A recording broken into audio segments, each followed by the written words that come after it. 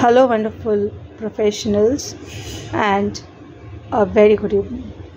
Today, I will be discussing about the uh, some questions which have been uh, I got it from Twitter, LinkedIn, and something and something somewhere from Quora.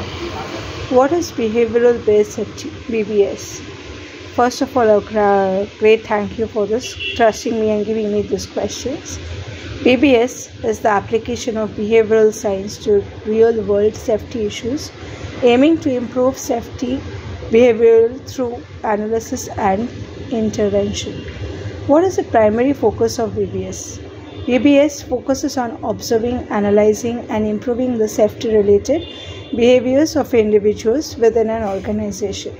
How does BBS differ from traditional safety approaches?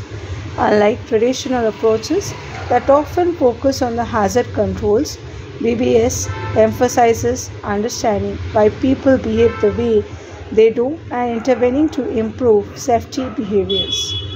What is the role of organizational behavior management in BBS? Organization behavior management provides the scientific foundation for BBS, helping organization to understand and modify behavioral effectiveness effectively.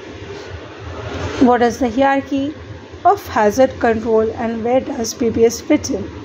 The hierarchy of hazard control outli- outlines strategies for mitigating workplace hazards, with BBS typically applied to the reinforced administrative controls and personal protective equipment usage. Who should be involved in successful BBS program? A successful BBS program involves all employees from top management to frontline workers, including various types of employees like hourly, salaried, union, contractors, and subcontractors. What is the necessary for BBS program to achieve meaningful changes? Meaningful changes in BBS program requires buy and support from all the stakeholders along with the policy procedures and system changes. What should a BBS program be based on for success? A successful BBS program must be based on scientific knowledge rather than assumptions or common knowledge.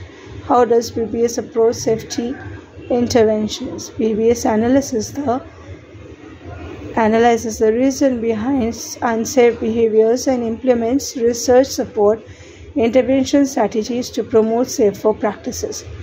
Why it is important for BBS programs to include all employees. Including all employees ensures a comprehensive approach to safety and encourages collective responsibility for creating a safe work environment. What are the examples of intervention used in BBS program? Examples include safety trainings, positive reinforcement for safe behaviors, peer to peer observations and feedback mechanisms. How does BBS contribute to the safety culture within an organization? BBS promotes the safety culture by encouraging continuous attention to safety behaviors and fostering open communication about safety concerns. What are the potential challenges in implementing a BBS program? Challenges may include resistance to change, lack of management support, insufficient training, and difficulties in sustaining momentum. How can the effectiveness of a BBS program can be measured?